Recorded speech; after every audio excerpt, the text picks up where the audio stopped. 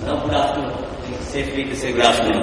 Uh, I represent Siemens. I hope uh, anyone who has not heard Siemens, please raise your hand. Then my job is easy. Uh, uh, we are um, about 66 billion euros globally with about 4 lakh employees. In India, we are about 20,000 employees and about 2.5 billion euros. And we primarily are into the area of energy, industry, healthcare and infrastructure in cities. So my job is easy. That's why I took, uh, as the chairman, I had the liberty to be at the end. So all of, all of them, which they have said, we also try to do. How far we succeed, I don't know. And if we succeed, uh, we are a leader in the marketplace. And if we don't, then we continue to be learning from the mistakes we do. So I would like to basically talk about uh, the business environment. I will also talk about what uh, this means to leaders in leadership. Uh, what are the type of leadership development activities we do? And uh, lastly, we will talk about what we do in Siemens and plus a bit of examples like Suresh said about how we are trying to be innovative. So some of the examples we gave are the real things which the organization look forward to how to be a differentiator in the marketplace. Well, I strongly believe that ultimately people who make the difference in the marketplace. It is not products, it is not technology, it is not services, it is the people. So in terms of the uh, economy, I mean, I do not need to dwell more because all of us are experiencing it in our everyday uh, life. The growth is stunting a bit, and uh, though it is, I mean, there are hopes. Like yesterday's paper talks about 5% growth in infrastructure sector, which is a real uh, breath of life for us, but it still is a distant dream, and the dangers remain. Uh, because the finance minister today in the headline says that the deficit is going to increase from 5.1 to 5.3 percent. So it is going to be a tough journey for all of us for the next uh, one year at least. Uh, the banking sector is uh, making a tough job. Like I was speaking to a lot of people from Europe last week because we had the global board meeting in Delhi, and I met a lot of them from different countries. And the, thing is that these, apart from Spain and Greece, which all of us hear, we, there's a lot of turmoil across Europe in terms of distribution, currency, and so on. The oil supply shock we are facing every day, the LPG prices have gone up yesterday only, so we don't need to talk more. As I said, the uh, financial conditions have started tightening, and we see that in the tightening of the market. All companies, whether Indian or global, are into austerity and we are trying to find out how to save. And the typical initiatives are reduce travel, reduce overheads and so on. All of us are trying to do that in our best possible ways. And uh, the banking sector, the uh, lending of the banks is also slowing down both uh, the developed economy, of course, it has slowed down. Even in the developing economies like India and China, it's not very easy to get uh, soft interest loans. Uh, policy changes don't, are announced, but actually in practice does not happen. Like I, you know, for me, power sector is a very critical complex for about 50% of our business. And we are struggling in the power sector because many decisions are taken but nothing getting implemented. The declining uh, foreign direct investment because India was a dream destination, but the dream is getting, uh, we are waking up the middle of the dream. So it is a little bit of a reality shock for us. This means that there is going to be more talent shortage. In spite of all this, there is uh, the best people will always have opportunities, and the best people are required at the tough times. So it is a marketplace which is competitive. The demographic shifts are also interesting. For example, uh, I was in Tokyo last week, and I found that uh, the uh, their biggest crisis is aging, and it is shocking when you see that. This was my first visit. And when I saw it, the average age in Siemens in Tokyo was 44. Average age in Siemens in India is 32. And it is going down every year. So that is a shocking thing and it has its implications for leadership. How do you develop leaders who are going to take over tomorrow? The aspirations of people, which people have talked about, faster growth, uh, high remuneration, the loyalty is to the profession not to the organization. When people are willing to change organization, as long as they are very happy with what they want to do. Uh, skill levels, employability is a challenge partly due to our education system. Like for example, we take a majority of engineers. We take about 150 engineers every year. We have to train them for one year before they become employable. Because whatever they learn is all very theoretical. They can't even open uh, fuse and put it back. So it's something which all our education system has to change.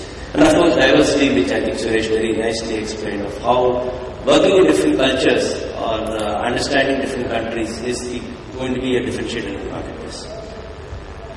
Now, what this means to leadership and leadership development, we have uh, uh, a lot of issues like we had the innovation revolution where the products and services are getting innovated every day. And the good news here is the emerging markets are becoming leaders.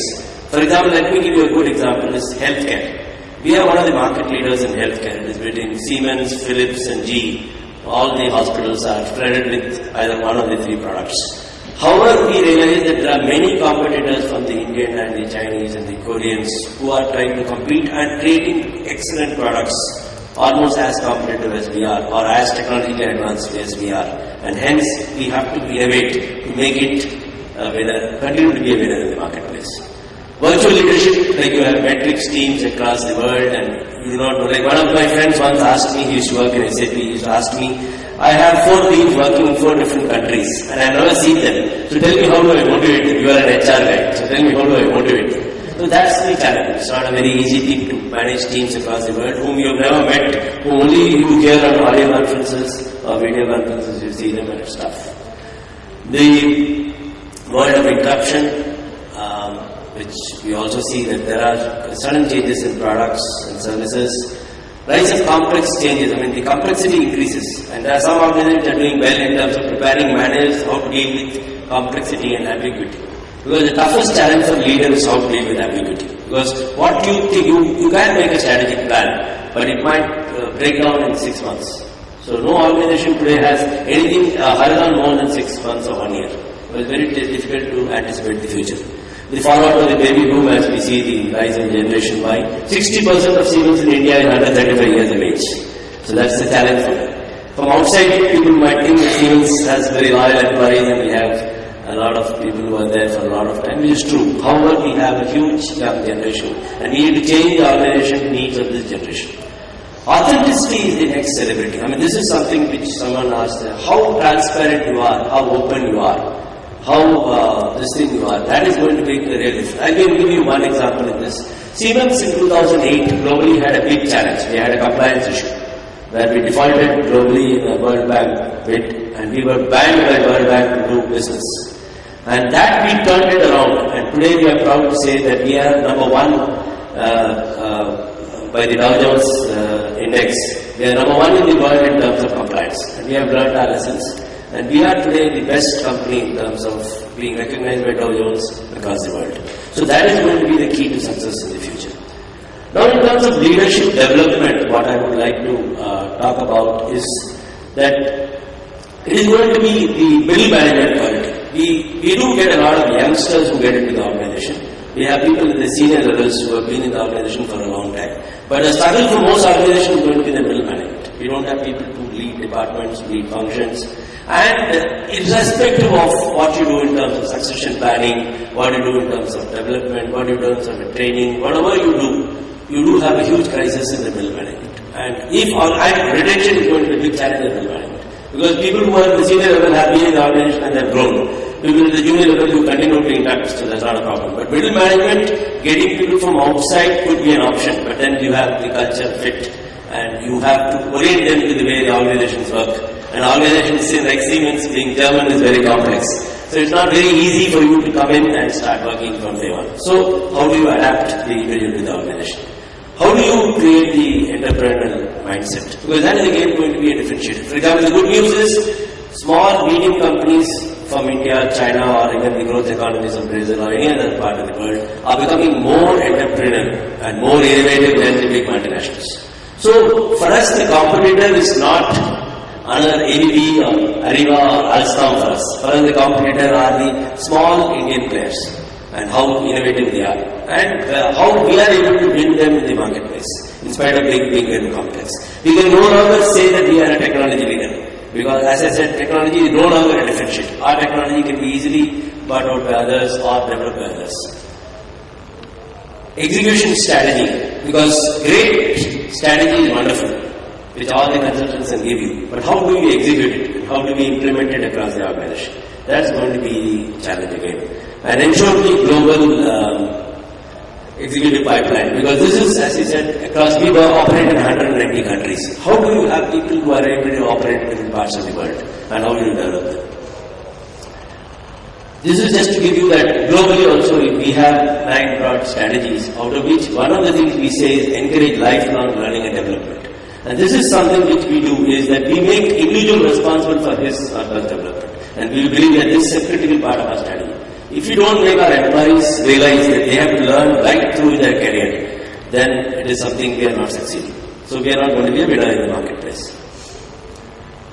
We do a top-down and a bottom-up approach. So we start with our performance management process, we identify our talent, we identify, uh, calibrate them, and we have uh, consensus. And we also have a top-down approach, where somebody asked about leadership, uh, driving uh, leadership development. So the global CEO once in a year reviews the leadership pipeline across the world. Every year, the month of March, myself and my CEO have to go and present to the global CEO in Munich as to what we have for the top level of leadership, who are the second level and who are the successors. And they will ask us, the entire board of directors are sitting there asking us questions as to how we are going to manage if somebody leaves or things like that. So we have to present this whole thing and this is something which has been quite useful for us. In terms of uh, the learning landscape, uh, we have uh, uh, we have across levels and uh, we do functional training, we do cross-functional training, we do uh, managerial training, we do mentoring, we do coaching. And the one other thing which I want to share here is recently, for example, and we have uh, local programs and we have global programs. I won't like to get into depth of it because here everybody has it. What uh, we do have uh, as a differentiator is that we have a Siemens leadership framework, which is a set of competencies, which also again most organizations have. This is a common language that Siemens speaks across the world. There are nine competencies and we follow those nine competencies in everything. In recruitment, in training and development, in performance management, in compensation, in reward recognition and everything, and even in exit. So we say that we will assess people on these nine sets of competencies. So that's a uniform language we use. In terms of Siemens, uh, uh, this is a global, program we have. Again, it is linked to the hierarchy, starting from a management course to advanced management course to general management, top management, corporate management course. We have a leadership center in Munich, and we nominate people from across the world to this course. And we try to nominate people from different countries so that we get a cross-cultural flavor into it. One of the things which I wanted to share here is that we have, a, we did recently a program with IIM Bangalore partnership with IIM Bangalore as a follow-up for one of the general management programs we do in Munich.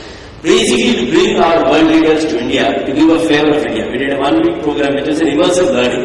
We went there, made them visit the uh, NGO, we made them visit the airport, we made them visit the marketplace, we made them visit a village, we made them interact with different leaders from different uh, industries so that they get an idea of what India is, how it feels and how it breathes, rather than reading in books. And, and it, this people felt was a differentiated learning.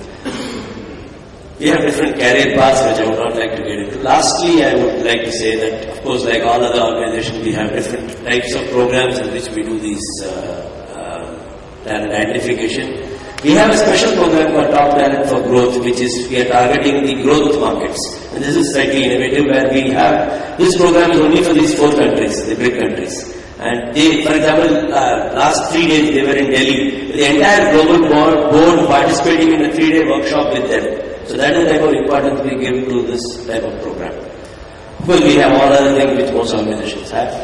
I would like to say that we must become the change we want to see. And that is exactly what uh, Mahatma Gandhi said. We believe that this is going to make us a differentiator in the marketplace. So, I would like to